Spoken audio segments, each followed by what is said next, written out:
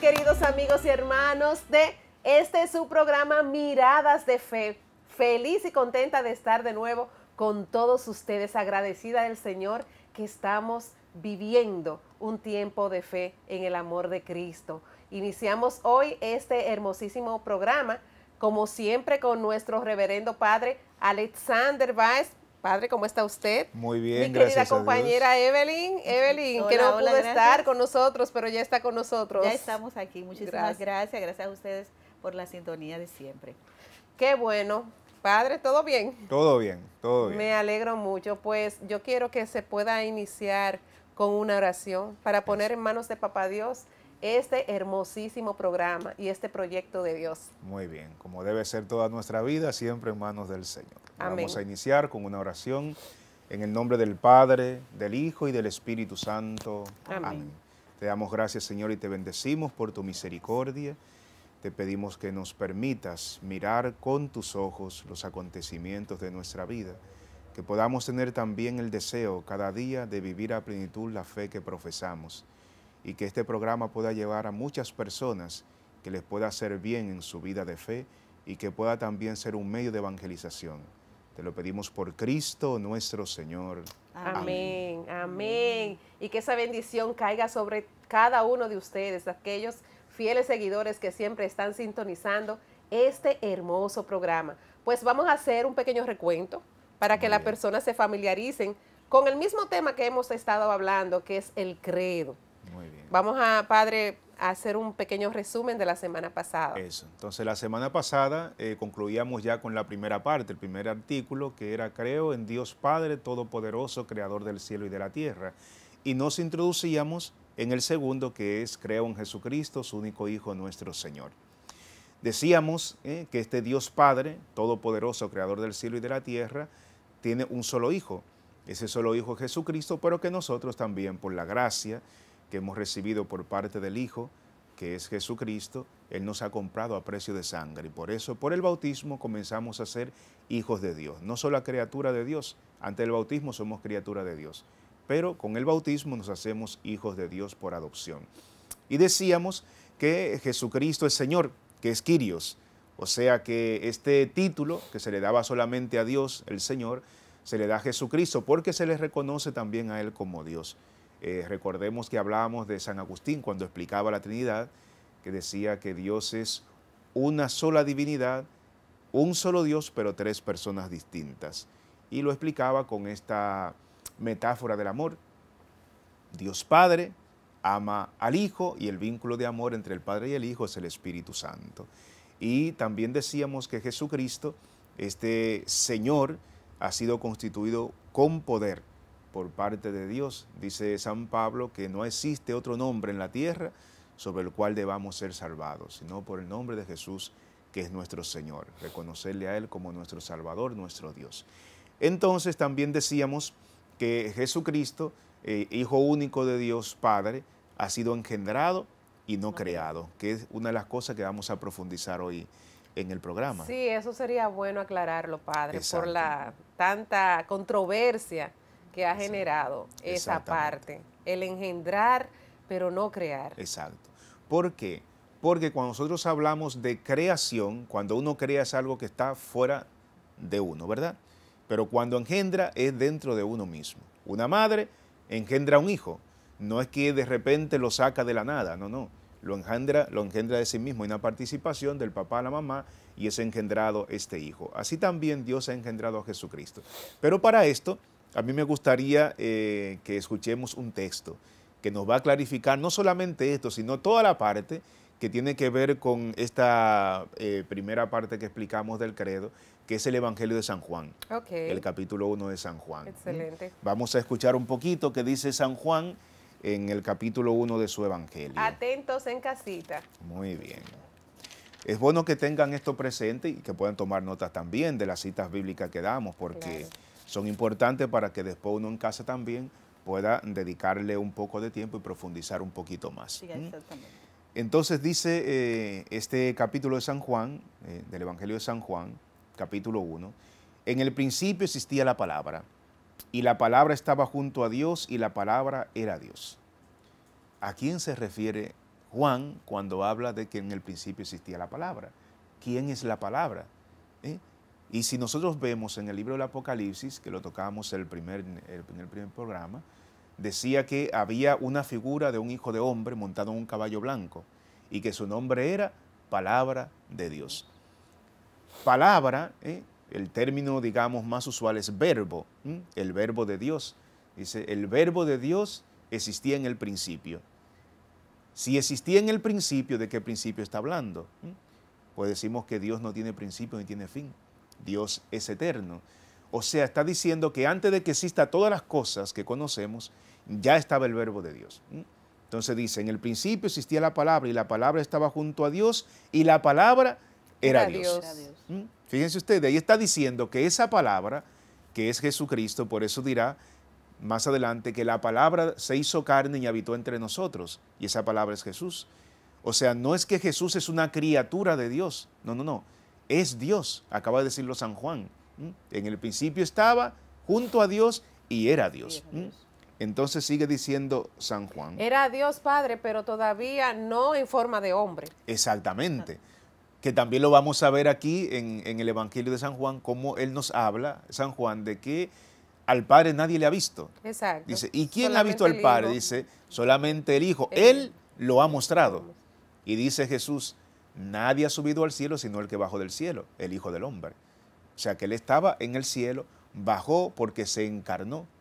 Y veremos también más adelante que San Juan dice que vino a, su casa o vino a los suyos y los suyos no le recibieron o no le conocieron. ¿Por qué? Porque tenía aspecto humano. Así es. Nunca se iban a, a imaginar que Dios iba a tomar la condición humana. No, padre, y también, aparte de tener aspecto humano, lo habían visto como el hijo de José. Exactamente. Desde niño jugando con las demás personas. De hecho, le, le murmuraban, le criticaban porque decían, pero a ese le conocemos. Ese es el hijo de José, ese es el hijo de María, el carpintero. Exactamente, el carpintero. O sea, no vino como rayo de luz del cielo, tampoco vino montado en un caballo. Exactamente, que también dirá eh, Jesús, dice que un día Él volverá, pero primero, ¿cómo ha venido? Ha venido la humildad de la carne, ha venido como hombre, un niño que ha sido acostado en un pesebre, pero dice que luego volverá con poder y con gloria para juzgar a vivos y muertos, que ese tema lo vamos a tratar también en el credo. Y sería igual, Padre, que como vino la primera vez, viene con, gloria. No, ahora será distinto. Pero entonces así, así sí lo esperaban, como lo esperaban los judíos. Exactamente, porque los judíos esperaban un Mesías es rey, un Mesías con mucho poder, pero con poder político, con poder humano, y de repente aparece este Mesías que es un pobre, que anda predicando por las calles, que anda caminando, que le siguen la gente, los pobres también, los lisiados, los pecadores. No era el tipo de Mesías que estaban esperando. Y por eso no les reconocen como el Mesías enviado. Entonces sigue diciendo Juan, dice, todo se hizo por ella, o sea, por la palabra, y sin ella no se hizo nada. Lo que se hizo en ella era la vida, y la vida era la luz de los hombres, y la luz brilla en las tinieblas, y las tinieblas no la vencieron. Ahí nos está hablando, dice el credo, que Jesucristo, Hijo único de Dios, nacido del Padre antes de todos los siglos, ya veíamos que decía que estaba y luz, de, luz. Aquí ya dijo lo que decimos en el credo. Primero, que es Dios de Dios. Dice, la palabra estaba con Dios y era Dios. ¿Mm? Pero también dice que es luz de luz. Y acaba de decir San Juan una cosa, dice que la luz vino al mundo, vino a los suyos. Y las tinieblas no la vencieron. El mismo Jesucristo dirá, yo soy la luz del mundo. El que me sigue no camina en tinieblas, sino que tendrá la luz de la vida. Y justamente cuando Jesucristo nace, en el contexto judío que se está viviendo en ese momento, eh, es el contexto de una fiesta muy importante para los judíos, que es la fiesta de la luz, o la fiesta de la Hanukkah, donde ellos celebraban la luz que se colocaba en el templo, ese, candelabro grande que había en el templo, la menorá, que dicen que era inmenso, que todos los patios de Jerusalén, dicen, eran iluminados por ese candelabro. Y en ese contexto de esta fiesta, que se, celebra más o menos en este mes de diciembre, enero, por ahí, justamente es cuando nace Jesús. ¿Qué está diciendo el Señor en, en ese sentido? Está diciendo, está diciendo, yo soy la luz ya no es el candelabro, ya no es la menorá, ahora está la luz verdadera. Yo soy la luz que ilumina a todo hombre que viene a este mundo, dice eh, el Señor a través del apóstol San Juan. Entonces, sigue diciendo San Juan en este para el capítulo primero, dice, hubo un hombre enviado por Dios que se llamaba Juan. ¿Y para qué fue enviado Juan? Entonces aquí dice, ¿para qué? Dice, este vino para dar testimonio de la luz, para dar testimonio de esta luz, para que todos creyeran por él. No era él la luz, dice, sino que debía dar testimonio de la luz.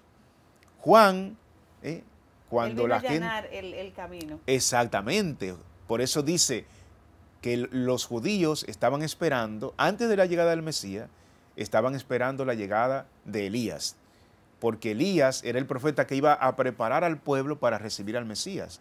De hecho, lo confundían con, Elías. Exactamente, exactamente. De hecho, Jesús un momento dirá, eh, para los que creen y dicen que tiene que venir Elías, pues él era Elías. Pero no significa que era la persona en sí de Elías, sino que iba a venir para qué? Para hacer el trabajo que tendría que hacer Elías, lo que ellos esperaban, preparar el camino al Señor. Dice, para que él encuentre un pueblo bien dispuesto. Entonces dice Juan que él no era la luz, sino testigo de la luz. Porque Juan, ¿qué es? Juan es simplemente la lámpara. Una lámpara es importante ¿por qué? porque la lámpara provoca la luz. Pero la lámpara en sí mismo no tiene importancia, lo importante es la luz. Juan viene siendo como el ombligo. Exactamente. Eh, eh, el, el, medio, como el vehículo. Eh, exactamente, entre el Antiguo Testamento y e inicia la llegada en el Nuevo Testamento. Juan divide el Antiguo y el Nuevo Testamento, como tú acabas de decirlo. Por eso muchos lo consideran como el último profeta a Juan, porque lo consideran parte del Antiguo Testamento, pero ya dando inicio al Nuevo Testamento. Así es. Entonces es interesante porque porque el evangelista nos está diciendo aquí que este esperado del pueblo no era un simple Mesías, no era un simple hombre, sino que era el mismo Dios que se hacía presente en la tierra. Por eso dice que es Dios de Dios, luz de luz, Dios verdadero de Dios verdadero, engendrado, no creado y de la misma naturaleza del Padre. Si dice el credo que es de la misma naturaleza del Padre, es porque de su propia esencia no es algo exterior, porque muchos quieren decir que Jesucristo es una, criatura, fue un hombre que fue muy bueno, que hizo muchas obras y que Dios lo adoptó como hijo. Pero realmente es de la misma naturaleza del Padre. Bueno, Padre, realmente eh, es, la palabra lo dice, el credo de nuestra Iglesia Católica lo dice, y aquí estamos para seguir aprendiendo. Vamos a nuestra primera pausa comercial. Enseguida retornamos. Muy bien.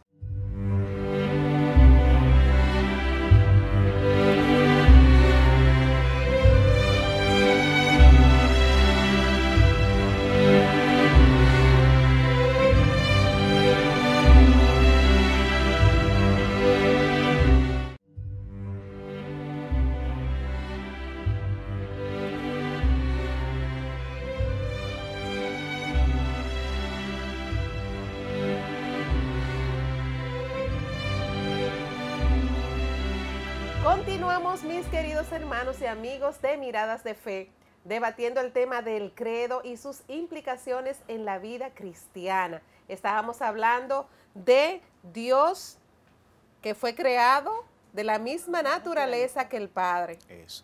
Entonces Jesucristo, eh, eh, decíamos, fue engendrado y no creado, que tenemos que ver esa diferencia. Cuando decimos creado, todos nosotros hemos sido creados.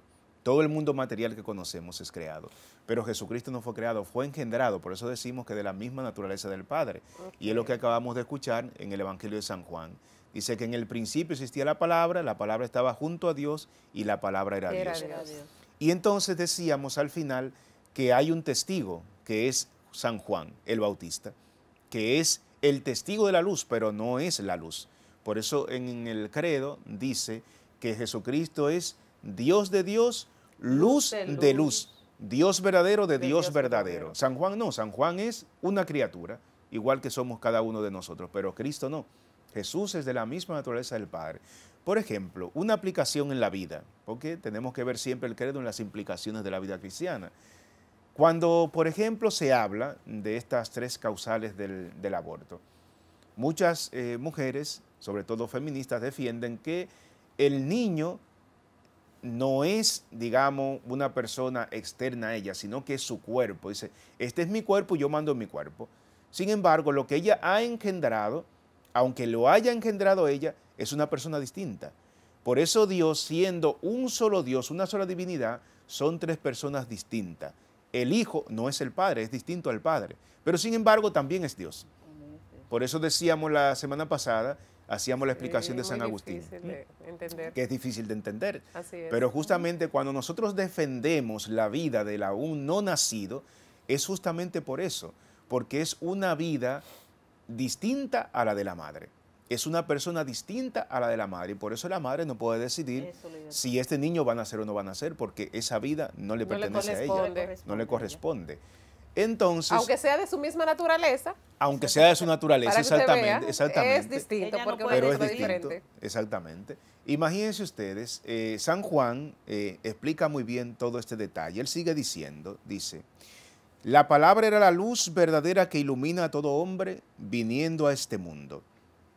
Jesucristo viene a este mundo y a qué viene? A iluminarnos, porque Él es la luz porque sin Cristo, ¿qué pasaba en la humanidad? Vivíamos en las tinieblas. Así es. Y la vida de nosotros sin Cristo es un caos. Por eso e, es interesante, cuando nosotros leemos el, relato de la creación en el Génesis, dice que al principio era un caos. ¿Y qué fue lo primero que hizo Dios? Es interesante, hizo la luz. Hizo la luz. Lo primero que hizo la luz. Y eso también pasa en nuestras vidas. O sea, cuando nosotros vivimos en el pecado, nuestra vida es un caos, es una tiniebla. Entonces viene Jesucristo, nos ilumina y nos convertimos en una persona nueva. Nos renovamos, ¿por qué? Porque Cristo nos ilumina. ¿Y de qué forma nos ilumina? Con la palabra. Él nos da la palabra, por eso dice también la Sagrada Escritura, lámpara es tu palabra para mis pasos, Señor, luz en mi sendero. La palabra va iluminando nuestra conciencia, nos va haciendo ver en qué estamos errando para que podamos corregirnos y entonces caminar por el camino de la vida. Y dice, sigue diciendo San Juan, dice, en el mundo estaba y el mundo fue hecho por ella y el mundo no la conoció. Fíjense qué cosa tan interesante. En el mundo estaba, o sea, Jesucristo está aquí, vive con los hombres, predica. Sin embargo, no lo conocemos. Exactamente. Pero a la vez dice que ese mundo en que estaba presente fue hecho por ella misma. O sea que Jesucristo a la vez está en el mundo, pero el mundo fue hecho por él. Que es una cosa que muchas veces como que no entendemos. No, padre, mire, hay que estar bien alimentado para entender muchísimas cosas. Para no poder y, y aún así. Sí, porque dígame. Y hay que dar mucha página para la izquierda y, para la derecha también. Para la derecha. Pero aún así, padre, siempre está ese misterio, ¿verdad, Evelyn? El misterio. Exactamente. Pero que el padre, usted lo ha sido muy sabio, padre, que ha buscado la Biblia y hemos estado detallando lo que es el Evangelio de, San, Juan, de San Juan. Por ejemplo, el Señor hizo la luz, nos invita a nosotros también que seamos luz. Exactamente. Porque el que está en oscuridad, entonces, se supone que no está eh, en, los caminos rectos en la gracia. en la gracia. Que, que justamente lo dice Jesús. Jesús primero dice, yo soy la luz del mundo. Él es la luz, ¿verdad?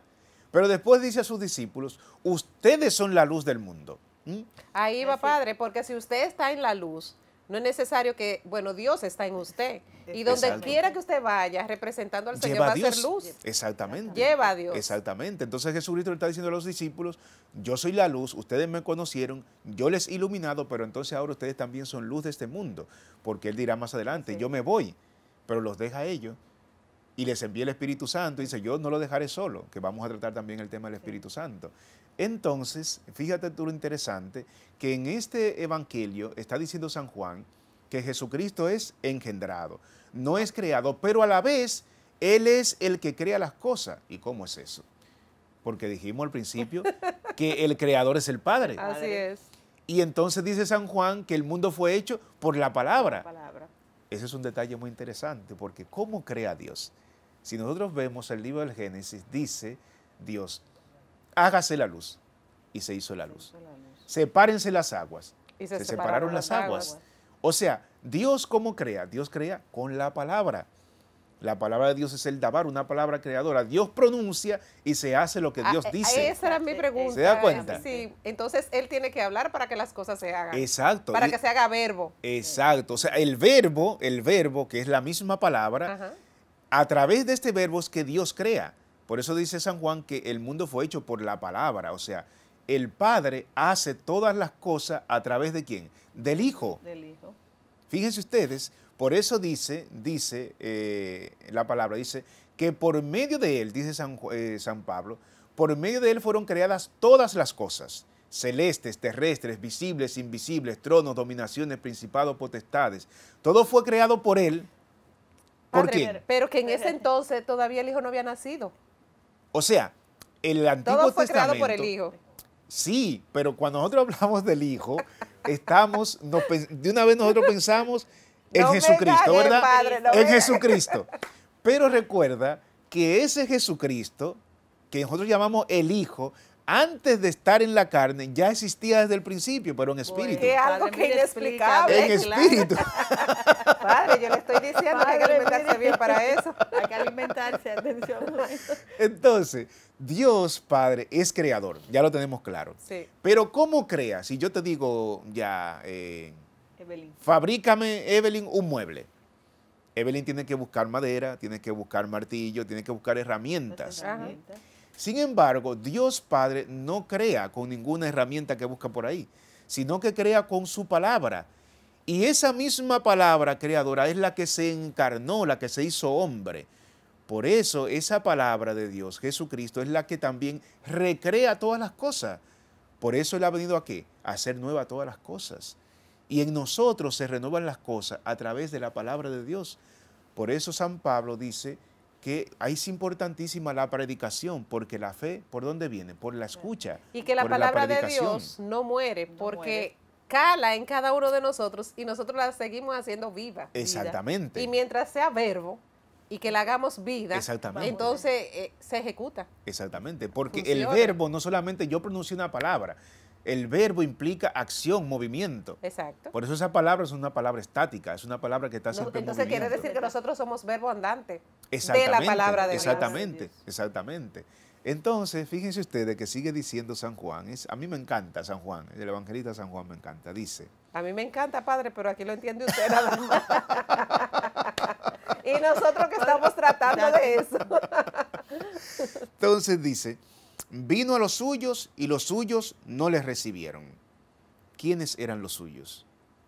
El El pueblo. El pueblo. Dios había escogido un pueblo, que es el pueblo de Israel, y a través de ese pueblo Dios quería mostrarse a todas las naciones. Y sucede que ese pueblo, que es el pueblo que adora a Dios, que cree en ese así Dios es. que es uno, de repente Dios está en medio de ellos y no le pueden reconocer. Justamente por eso. ¿Por qué? Porque era el verbo de Dios que se encarnó, se hizo hombre, se hizo uno igual que el común de las personas y eso no le entraba en su cabeza, que Dios se hiciera uno igual que nosotros. Señores, es difícil, pero no imposible, entender todo lo que el Padre está explicando. Me encanta San Pablo. Recuérdense que todos somos verbos de la palabra del Señor. Y esa palabra se hace viva en todo lo que hagamos e incluso en, en nuestra forma de ser. Nosotros predicamos con el ejemplo. Pero vamos a seguir con este tema interesantísimo después de estos cortes comerciales. Continuamos.